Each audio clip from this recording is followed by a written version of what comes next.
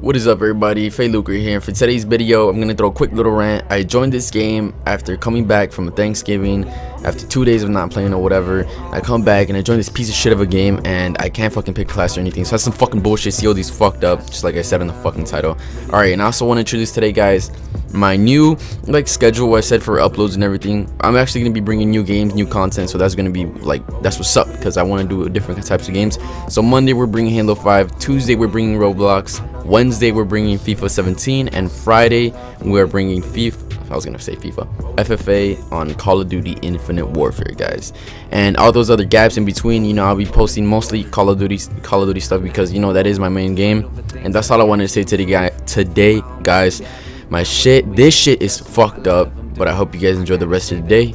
Make sure nobody tells you you can't do whatever the fuck you want to do. Until next time, guys. Deuces.